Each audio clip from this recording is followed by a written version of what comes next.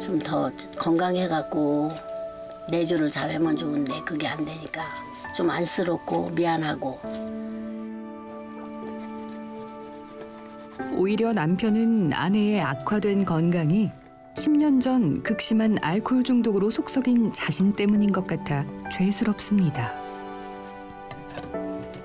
과거에 집사람이 저한테 해준 거에 비해서 내가 지금 이거 뭐 설거지하고 아침밥 뭐 챙기고 이 정도는 뭐 아무것도 아니에요. 응. 너무 감사하지 뭐. 할수 있어도. 30여 년 전 14살의 나이차를 극복하고 부부의 연을 맺은 두 사람.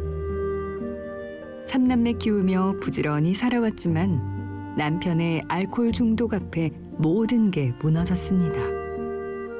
가장임에도 불구하고 집사람이 애의 가장 역할을 했었었고 저는 그냥 항상 무슨 일이 있으면 술 뒤로 숨는 그런 사람이었고 그냥 피하고 그냥 참고 그런데 그런 부분이 결국은 집에 와서 술 마시면서 애들한테 폭발하고 이제 집사람한테 폭발하고 이제 좀 맑은 정신에 이제 타니까 뭐 술 먹고 돈 이렇게 탕진하고 했던 것도 많이 후회되죠.